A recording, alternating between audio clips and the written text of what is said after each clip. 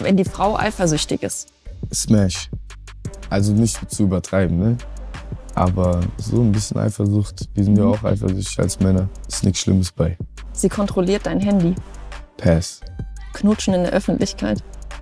Also kommt drauf an, wie fest die Situation ist. Ich denke, wenn man seine richtige Partnerin sich dafür entscheidet, ja, aber sonst mit irgendeiner Pass. Für sie ist wichtig, ob eure Sternzeichen zusammenpassen. Pass.